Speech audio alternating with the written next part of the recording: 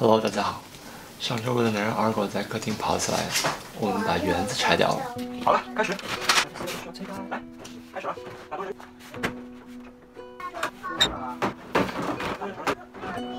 后来考虑到我们可能也不会再使用了，于是就想要干脆把客厅也改造得了。家里下就是这个样子。我们也随着生活的变化，比如说有孩子了呀，孩子长大了呀，不停的来改变格局。好在改变本身是一件有意思的事情。想法是这样，我们要用尽可能少的钱来改造客厅，所以我们要先把这个园子卖了，然后用卖掉它的钱去购置一些新的家具啊、配件啊，再根据我们现在的需求去改造。为了在闲鱼上挂牌，我们又把园子恢复了，拍了很多视频啊、照片啊，写了超级详细的描述。这个园子当时。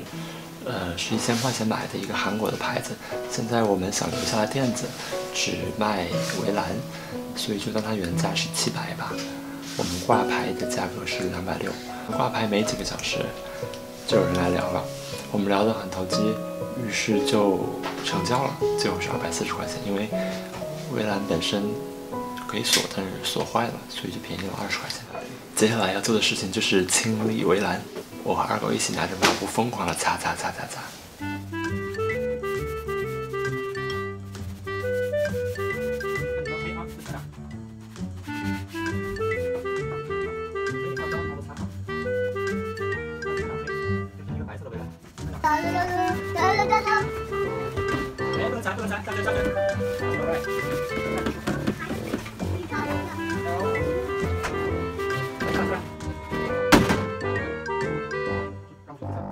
一起相处久了吧，我们马上要卖掉它，二狗也有一点不舍，最后在上面玩了一次，希望它的新主人能够好好对待。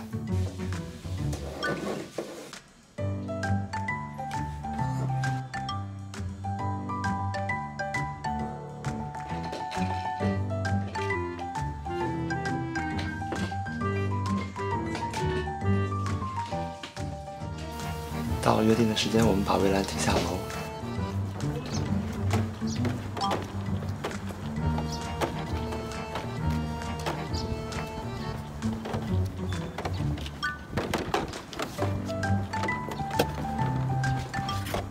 买家开着一辆小雪佛兰，我们一走出小区，他就看到了我们，然后远远的把后备箱打开了。我们把围栏抬回去，放进后备箱。他盖上盖子就走了，整个过程不超过两分钟，超级的快。现在两百四十元到账了，接下来的问题就是我们要怎么花了。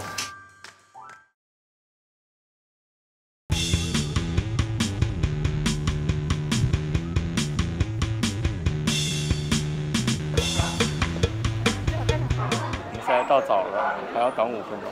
现在还有还有三两三分钟。现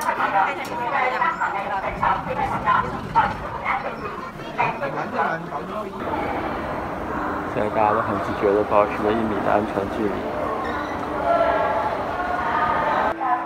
这个东西看起来好像降落的蝙蝠啊！好了，这就是我们要买的柜子，臂力三层不带隔板。这个东西放在我们家小阳台。OK，就是这个，走了。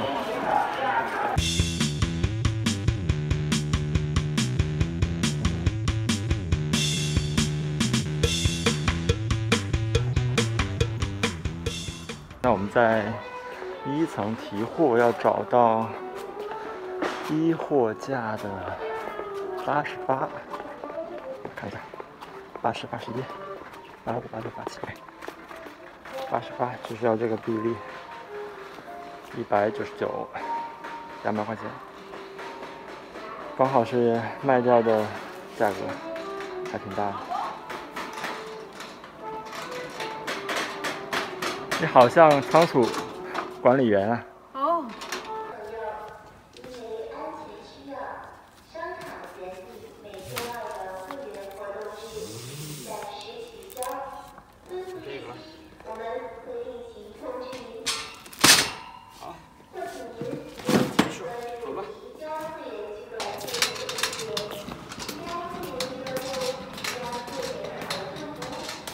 这就是在宜家买的东西。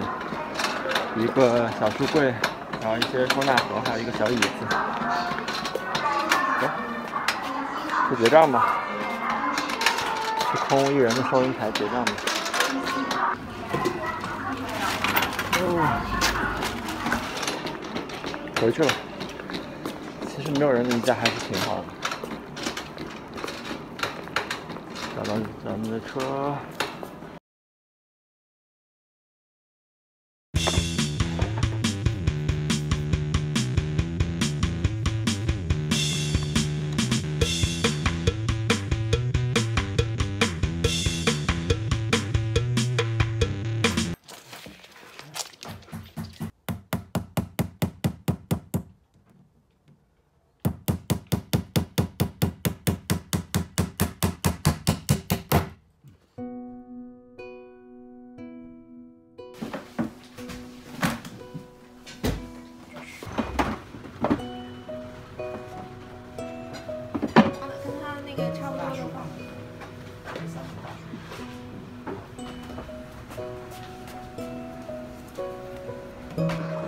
给小爷，情绪小怪兽。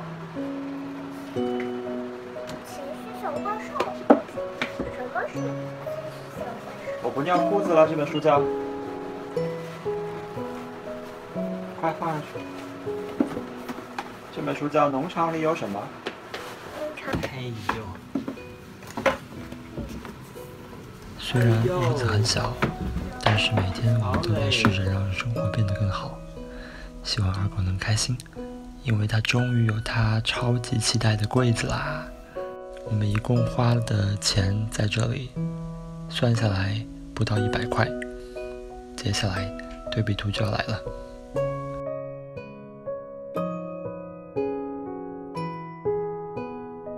那这期就这样，我们下期再见，拜拜。